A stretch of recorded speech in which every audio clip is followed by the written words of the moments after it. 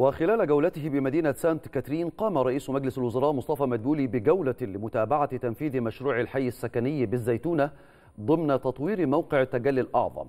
وتفقد مدبولي إحدى البنايات بالحي السكني بالزيتونة حيث اطلع على تأثيث إحدى الوحدات الجاهزة مشيدا بمستوى التصميم الذي يتوافق مع البيئة المحيطة وكذا التشطيب.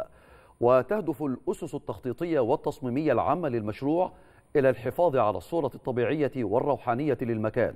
فضلا عن الحفاظ على الغطاء النباتي الطبيعي باستعمال نباتات من نفس البيئة.